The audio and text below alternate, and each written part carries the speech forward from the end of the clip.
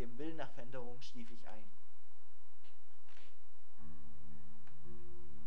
Wer bin ich?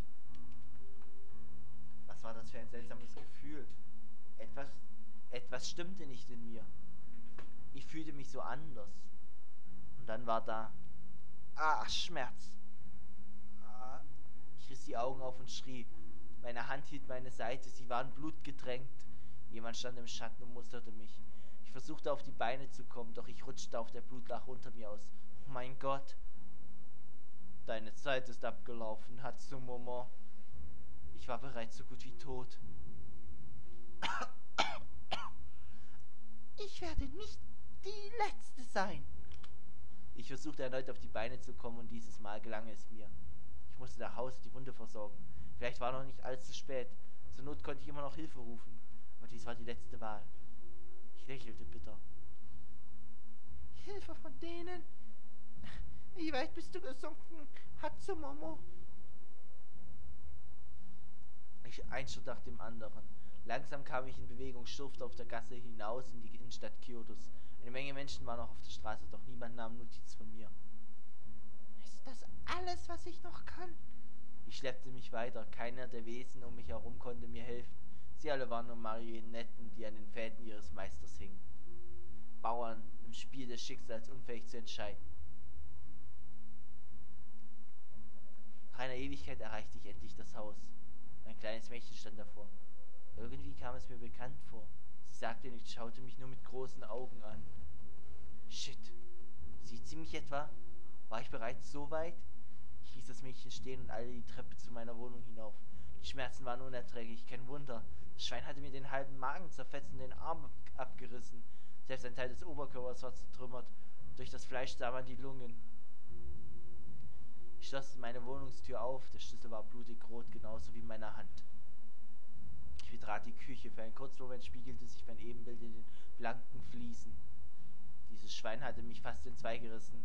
Sogar ein Teil meines Schädels war klar sichtbar. Das wird keine leichte Arbeit.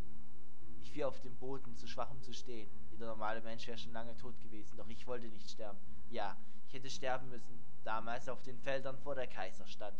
Doch ich wählte das Leben und ich wählte auch heute das Leben. Kenshi, du Narr, es gibt nichts auf der Welt, was mich töten könnte. Etwas Scharfes und Spitzes ragte aus meiner Brust. Der Schmerz verging augenblicklich, meine Sicht verschwamm. Ich hatte nicht aufgepasst, hatte es übersehen. Kenji war nicht gegangen, um mich dem Tod zu überlassen. Er hatte zu lange auf diesen Moment warten müssen. Er wollte mich nur leiden sehen überrascht, deine eigene Klinge zu spüren. Ein leises Lachen, die Stimme hatte keinen Klang. Ich bekam Angst, so große Angst. Es war die Klinge, es war die Klinge, es war die Klinge. Nur dieser Gedanke schoss in meinem Kopf herum. Ich wollte nicht sterben, ich wollte nicht vom Rat der Wiedergeburt getrennt werden. Ich wollte nicht verschwinden. Helft mir, bitte. Oh mein Gott, das ist eine Scharreferenz. Wegen einem Fehler. Okay, das war jetzt ein kurzer Abschnitt. Ich mache noch den nächsten. Freitag, der dritte Tag. Ja, das ist das letzte. Also es sind noch drei Abschnitte, wenn ich das richtig sehe. Ah! Mit einem Schrei fuhr ich aus dem Bett auf, das zweite Mal in dieser Woche. Warum schreist du denn so, großer Bruder? Ich habe schlecht geträumt. Ich war in Schweiß gebadet, mein Brustkorb hob und senkte sich spürbar, als das Herz verzweifelt versuchte, Sauerstoff in die Lung Lungen zu pumpen. Mama hat immer gesagt, dass böse Träume verboten für schlimme Tage sind. Ah ja, was du nicht sagst. Moment mal. Auf meinem Bett saß ein kleines Mädchen mit langen himmelblauen Haaren und einem schwarzen Kleid. Ah! Das Mädchen tippelte über die Bettdecke, als wäre sie leicht wie eine Feder. Ihr Gesicht kam näher. Schlimmer Traum? Was, äh, was machst du hier? Ich sprang vom Bett herunter und lief fröhlich durch das Zimmer, immer wieder stehen bleiben und etwas anderes in Augenschein nehmen. Da blühen echt schöne große Blumen vor dem Haus. Das erklärte noch immer nicht, wie sie hier reinkam. Schau! Sie zeigte auf die Kommode, auf der einige Gänseblümchen lagen. Habe ich für dich gepflückt. Danke dir, Ei, aber du weißt schon, dass es nicht gut ist, einfach so in Häuser von fremden Leuten zu gehen? ich habe mir extra viel Mühe gegeben, die allerschönsten für dich rausgesucht, Bruder. Hör mal, ich bin nicht dein Bruder, also bitte nenn mich nicht so, ja? Ei legte den Kopf schief und musterte mich. Nicht mein Bruder? Dann schüttelte sie ihn und lachte. Das war lustig, Bruder. Ich habe wirklich gedacht, dass ich dich verwechselt habe. Oh Mann, dieses Kind. Woher kam sie eigentlich? Sie musste in der Nachbarschaft wohnen, wenn sie so früh morgens schon hier sein konnte. So früh morgens? Die Sonne stand bereits hoch am Himmel und nach meinem Wecker war es lange nach Mittag. Ah. Was hast du denn, Bruder? Der Unterricht hat schon lange begonnen. Ich bin viel zu spät. Ich sprang aus dem Bett und scheuchte sich, die sich während Ei aus dem Zimmer, bevor ich in meine Sachen schlüpfte. Als ich, als ich die Tür wieder aufmachte, stand noch immer das Mädchen vor der Tür. Was machte ich nur mit ihr? Wo wohnst du denn? Hier. Sie zeigte mit dem Finger in eine Richtung. Und dort? Anschließend mit dem gleichen Finger in die gegensätzliche Richtung. Manchmal aber auch da. Oder dort hinten. Sie hatte einmal in alle vier Himmelsrichtungen gezeigt. Hör mal, ich muss zur Schule, du kannst nicht hier bleiben. Bring dich von mir aus nach Hause. Ich komme eh zu spät zum Unterricht. Also, wo wohnst du im Moment?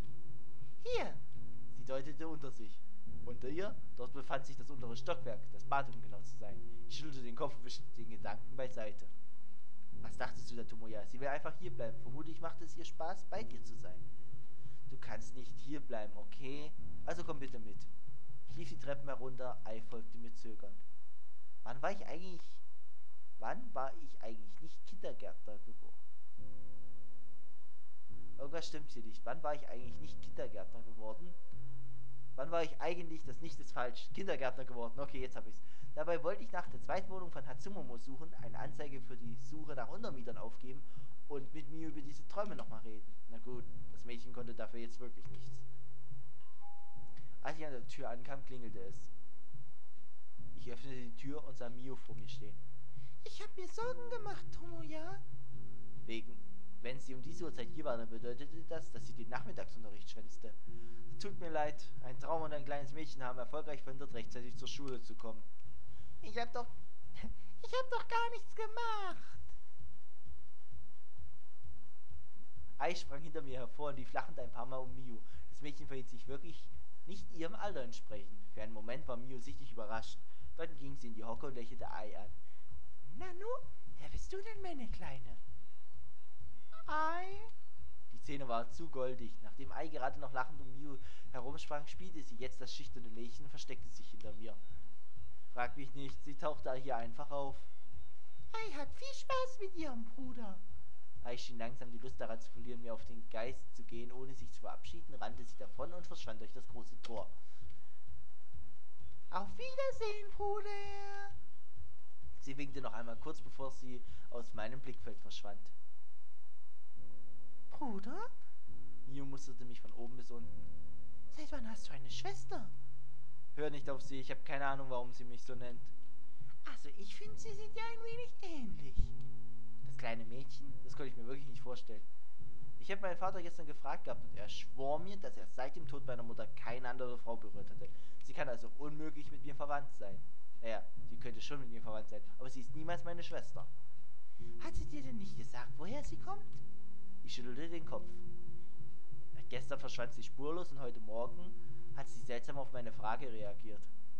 Gestern? Seltsam? Lange Geschichte. Es scheint seit einigen Tagen das Unglaubliche und Seltsame regelrecht anzuziehen, Tomoya. Ich frage mich nur, warum. War irgendwas geschehen, bevor dies alles begonnen hatte? Träume? Sumomo? Ei? Mal zurückblenden und genau überlegen. Okay. Im Prinzip sind die Splits ja eh egal. Ich werde es bei YouTube eh nochmal splitten müssen. 10 Minuten Parts. Die Wochen zuvor war alle die Wochen zuvor waren alle ruhig gewesen. Es gab keine seltsamen Begebenheiten und ich konnte mich auch an sonst nichts Außergewöhnliches erinnern, oder? Sehr ich auch darüber nachdachte, mir mochte einfach nichts Außergewöhnlich aus den letzten Wochen einfallen. Einzige, was ich von den Wochen vor Hatsumus Verschwinden und vermutlichen Tod noch wusste, hatte mit der Sache wohl nichts zu tun. Ich war kurz zuvor 18 Jahre alt geworden. Aber selbst dies war ein Tag wie jeder andere gewesen. Tomoya! Eine Stimme. Tomoya! Eine Stimme in der Nacht.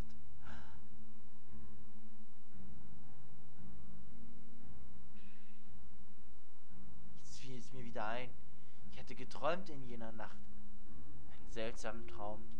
Eine Stimme, die nach mir rief. Eine Hand, die nach mir griff. Dann Flammen. Das Anwesen fing Feuer, brannte lichterloh in der Nacht. Rauch nahm einen fast die Sicht. Menschen, die lichterloh in Flammen standen. Mio. Bist du okay, Tomoya?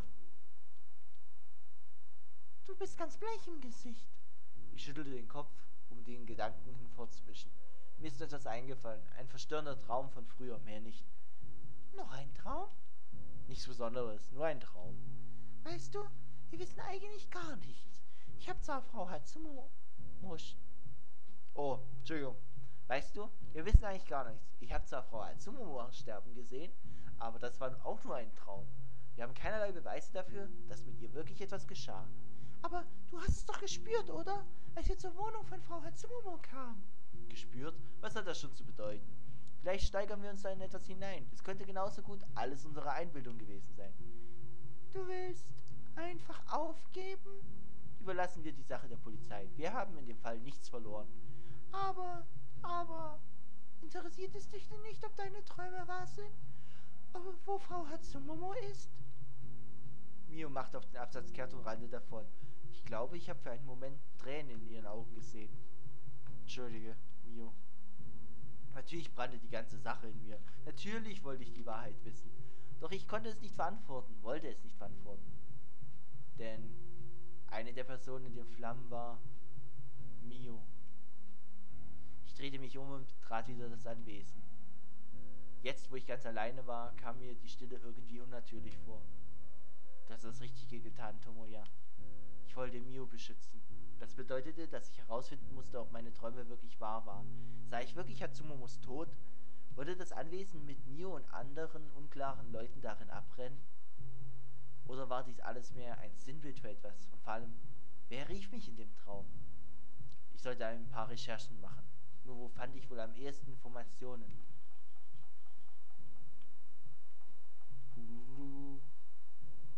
Ja, das ist eine gute Frage. Was nehme ich denn? Das ist jetzt das letzte Event meines Wissens nach. Das dürfte relativ ähnlich zu dem von Alternate sein, deswegen nehme ich mal das. Es war unwahrscheinlich unter den Büchern, die in Vaters Anwesen lagen, ein Buch über Traumdeutung zu finden. Die Schulbibliothek hatte aber sicher ein paar Exemplare. Genau das eine war, glaube ich, Familiensand waren die Träume. Natürlich konnte ich so spät schlecht in die Schule gehen. Ich hatte immerhin noch schon den halben Tag verschlafen. Darum schlug ich noch ein wenig Zeit vor dem Fernseher tot, bevor ich mich auf den Weg machte.